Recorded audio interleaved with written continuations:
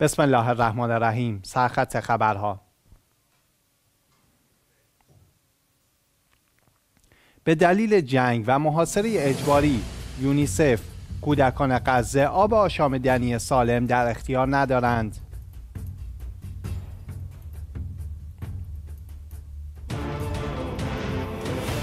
نگرانی سازمان ملل از آسیب پذیری شیعیان در افغانستان.